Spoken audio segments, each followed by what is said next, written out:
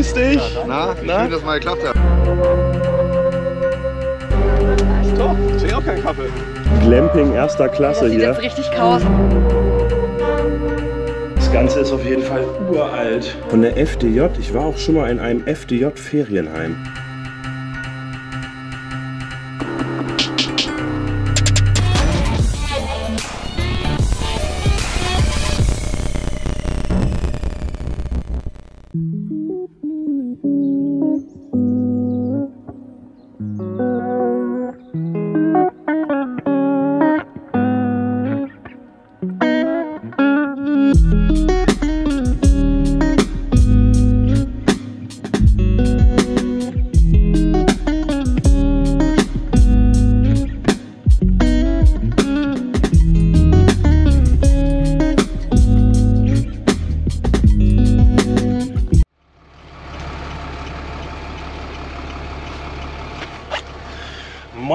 Seid gegrüßt. Wir sind auf dem Weg zum Outdoor-Treffen. Wir heißt ich und der. Hallo! Der gierige Daniel, ganz genau.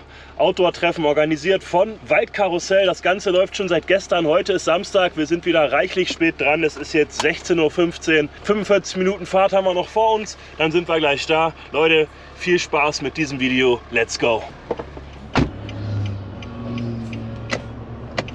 Raus jetzt hier.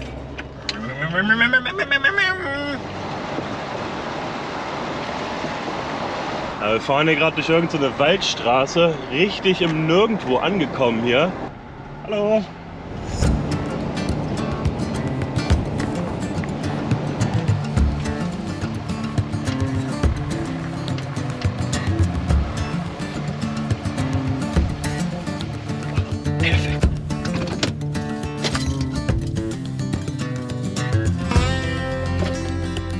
So, wir sind angekommen, irgendwo hier in der tiefsten Botanik. Hier ist so eine Pfadfinderhütte. Boah, oh, voll Druck auf den Ohren und kalt ist es hier. Ja, holen wir mal ein Jäckchen raus, wa? Grüß dich. Hallo, Wer bist du? Thorsten. Thorsten, Marco oder Taco, wie auch immer. Ja, Taco kennt man dich ja schon. Daniel, oder? hi. Ja? Hallo. ja? Ja, wer bist du? Deiner Fahrer. Flauschig. Oh, ja. Und 13 Wochen alt. 13 Wochen. Mhm. Ja, noch ganz jung, der Kleine.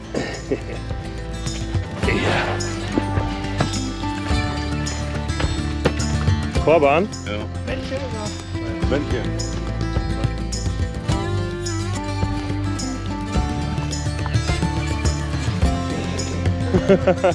Doch, doch. Grüß dich. auch nicht mehr kommen. Ja, lieber spät als gar nicht, ne? Henrik, moin. Grüß dich. Na, Na? schön, dass mal geklappt hat. Ja, freut mich auch. Hier überhaupt ein Video hier oder einfach nur Und chillen? wer Bock hat, kann ruhig filmen. Ja, ich mach mal nur so ein paar Ja, Einblicke alles und gut. sonst. ich habe bei Äh, mir auch Kamera dabei. Bisher hatte ich noch nicht so richtig Bock. ja, ja. Deswegen, aber könnt ihr ruhig machen. Stefan, äh, das fällt auch zwischendurch mal. Grüß dich. Moin, Hi, Taco. Leute, man sieht hier, Tja und Jackie haben es hier wieder komplett übertrieben. Sie haben sich hier ein richtig dickes, gemütliches Zeltchen aufgebaut. Die Jackie hat noch mal schnell ein bisschen aufgeräumt hier.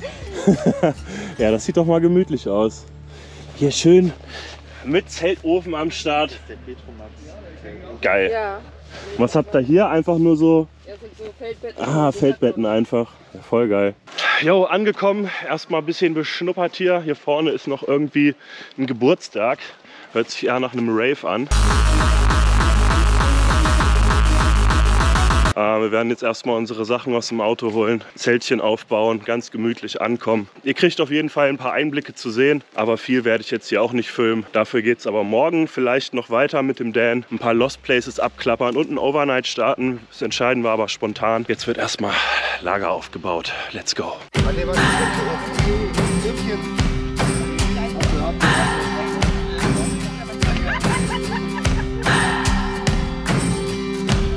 What do I believe? What makes me feel it to write you this song? Two hours a day, five months a year.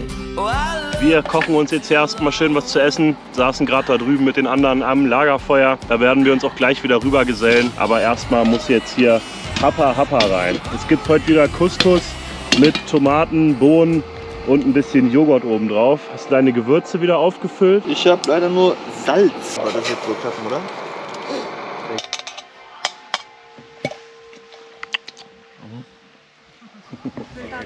Doch, ich will auch keinen Kaffee. Es ist knapp halb eins. Bin auf jeden Fall ready to sleep. Gute Nacht, Leute. Wir sehen uns morgen früh. Guten Morgen, Freunde. Ah, richtig geil geschlafen, ey. Und jetzt gibt's erstmal schön einen Kaffee hier. Ich habe hier die neue Kaffeemaschine von Autin. Eher gesagt handelt es sich um eine Outdoor-Espresso-Maschine. Das Ding sieht nicht nur gut aus, sondern fühlt sich auch verdammt gut an. Ihr könnt sie mit Kapseln oder mit Kaffeepulver betreiben. Dann einfach Wasser oben rein, auf den Knopf drücken und warten. Und mit nur ein paar Handgriffen habt ihr richtig geilen Kaffee. Link in der Videobeschreibung abchecken, supporten und genießen.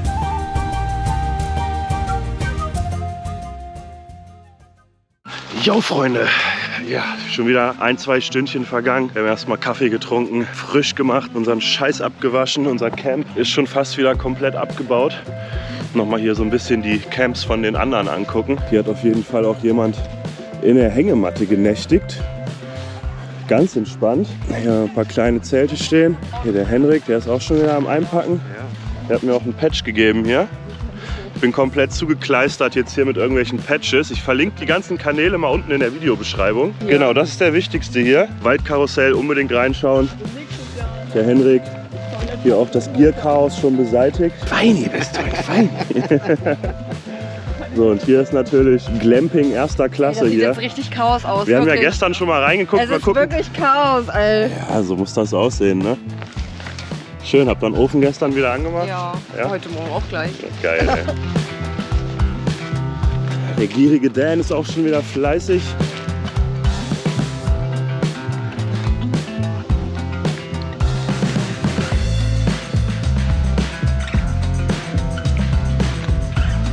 Gab eine spontane Kanalübernahme. Willkommen zu meinem Kanal. Viel Spaß beim Schneiden, Brudi.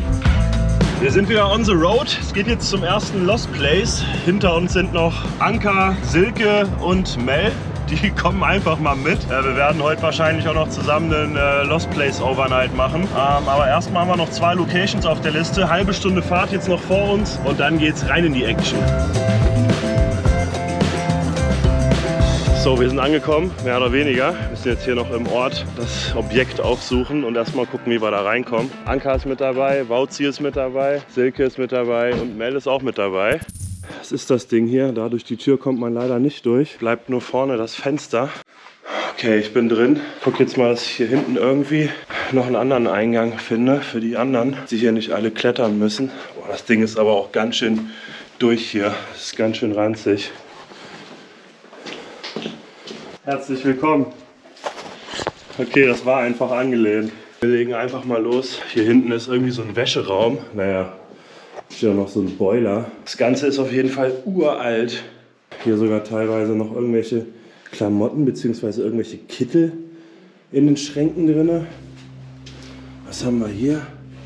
Mega Lack, schmerzstillendes Antazidum, Camilan, Antifolo, nee, Antifolgisticum. Ja, keine Ahnung. Bisschen was ist noch drin. Hier haben wir so große Waschbecken. Ich denke mal, es war hier so der Hauswirtschaftsraum.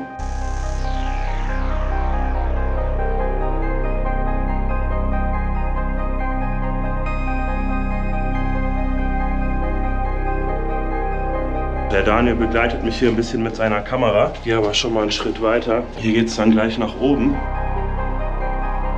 Und hier geht's in die Küche rein. Oh, heftig. Ja, viel ist hier nicht mehr zu sehen, aber man sieht auf jeden Fall, dass das Ganze hier ultra alt ist. Ne? Also das ist ein Hotel und ich denke mal, das ist locker schon seit 50 Jahren nicht mehr genutzt. Weil wenn man sich mal dieses ganze Zeug hier anguckt, was hier rumsteht, das ist wirklich uralt. Allein, was ist das hier? Ein Toaster?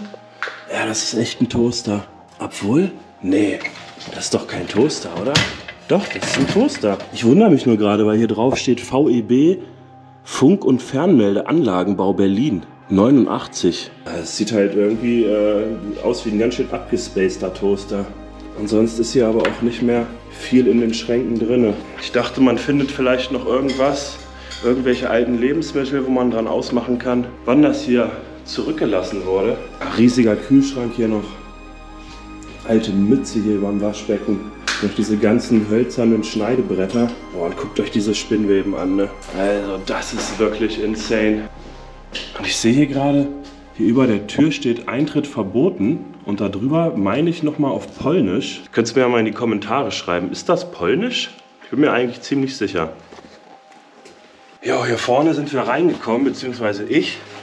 Hier haben wir einmal so eine Gaststube mit einer Theke und hier auch noch die gute Langnese Eiskarte. Das hat schon ein paar Jahre auf dem Buckel. Wenn ich mich nicht irre, sind das auch D-Mark-Preise. Also ich sehe hier auf jeden Fall nirgendwo ein Eurozeichen.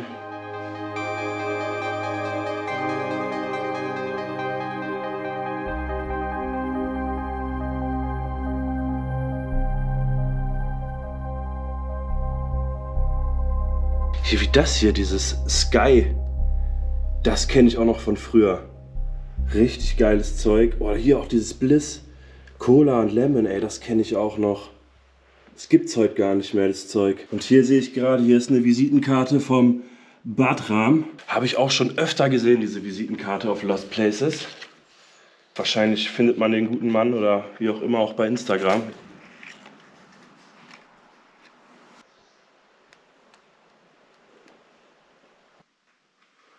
Und hier nebenan, Garderobe steht an der Tür. Haben wir einfach nochmal so einen kleinen Raum. Hier stehen noch ein paar alte Skier, inklusive Schlittschuhe und Skistöcke. Das ist auf jeden Fall auch uralt, das Zeug. Ja, und hier hinten, genau, da geht es in den Keller runter. Das schauen wir uns gleich zum Schluss natürlich wieder an. Und hier drüben, boah, krass, ein richtig alter Holzofen. Das ist ja auch wieder ein Zeichen dafür, wie wirklich wie alt das ist, dass hier so ein alter Ofen rumsteht. Müsste ja normalerweise auch irgendwo eine Plakette sein. Aber das ist so vergnarzt hier alles. Ich kann keine Jahreszahl erkennen. Auf jeden Fall krasses altes Teil, ey. Hier ist das alte Straßenschild, der Wegweiser zum Hotel.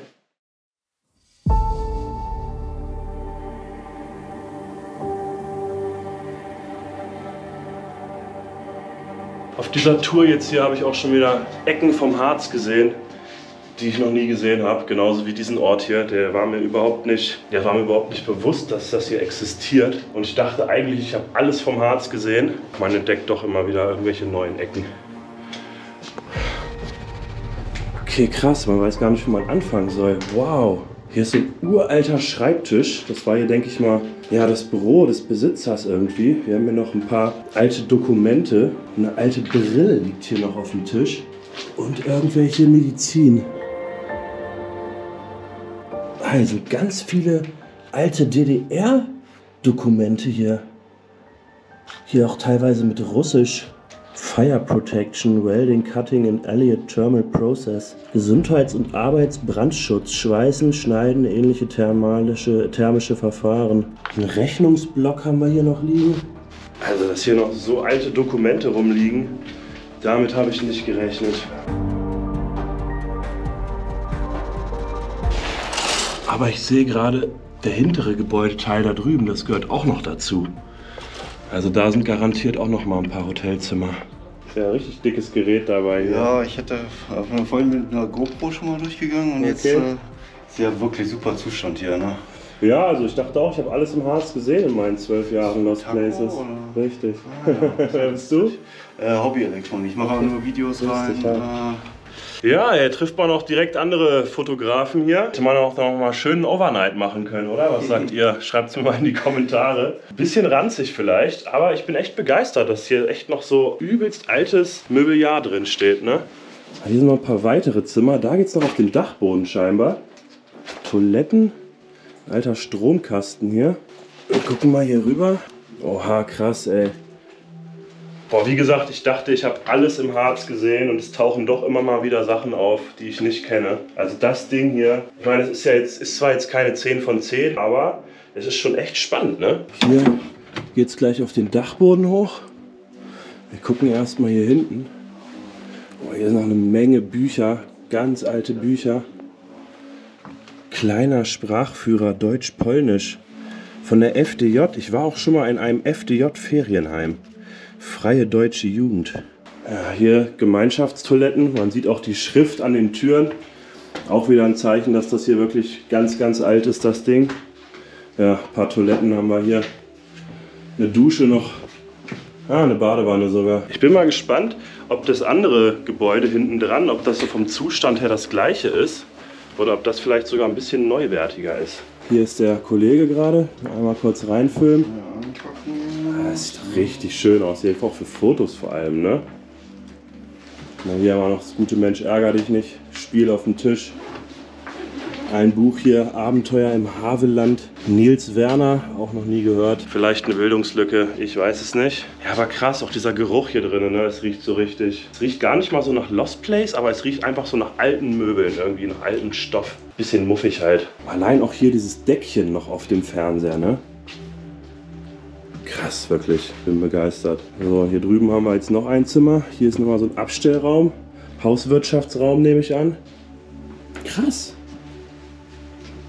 Das ist wirklich uralt, ne? Hier hinten ist nochmal ein kleines Zimmer. Nochmal mit zwei Betten. Kleine Waschecke. Hier wieder ein Buch. Mutti schau aus dem Fenster von Günther Saalmann und Erika Klein. So, jetzt guck mal hier auf den Dachboden. Boah, krass. Was ist das? Ein Schuhlager? Alter, hier ist auf jeden Fall mega viel Zeug gelagert. Ganz viele alte Skistöcke. Und hier auch Skischuhe und Skier. Aber wirklich ohne Ende, ne? Also der Harz war ja erst dafür bekannt für den Bergbau und dann später dann auch irgendwann für, ja, als, als Skigebiet. Aber hier in diesem Ort ist, glaube ich, der Skitourismus auch schon lange, lange vorbei. Was haben wir hier hinten noch? Hier ein riesiges Bild mit ganz vielen Kinderfotos. Vielleicht ist das sogar auch hier dieser Ort. Durchgang Sommer 80. Boah, krass. 1980.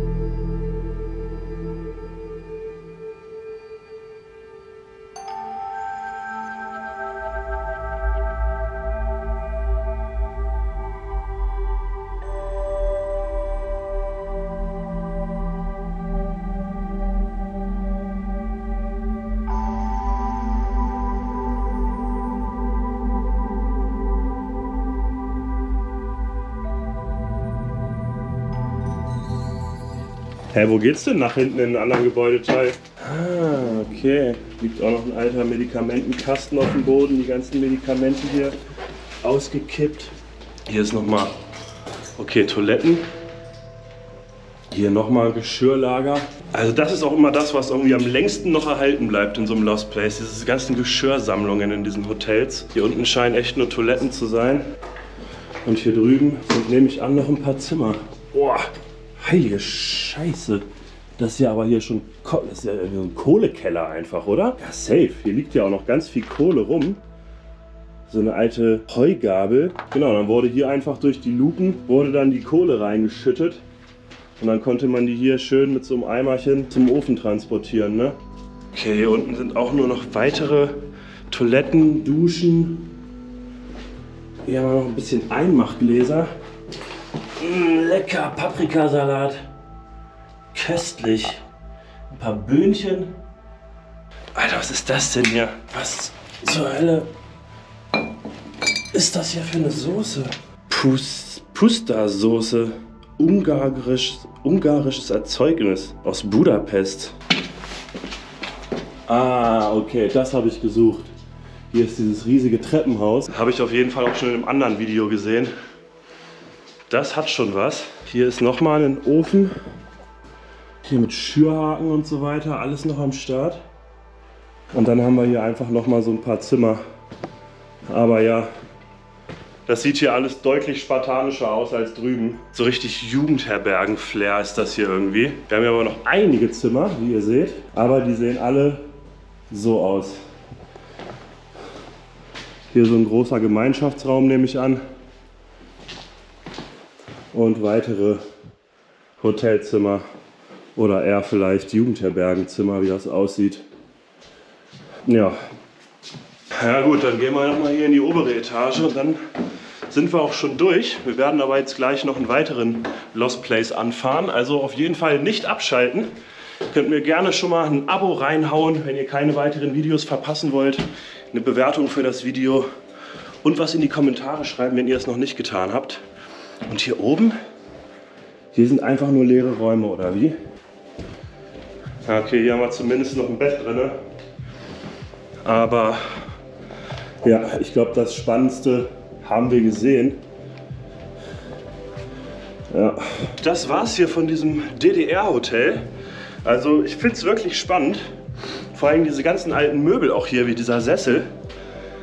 Immer wieder cool solche Locations, auch wenn das jetzt hier ja, keine Spitzenlocation ist. Trotzdem gab es hier noch einiges Spannendes zu sehen. Schaut auch gerne mal beim Dan rein. Da kommen bald auch wieder Videos auf seinem Kanal oder sind schon online, wenn ihr das hier seht. Wir fahren jetzt weiter zum nächsten Ort. Let's go!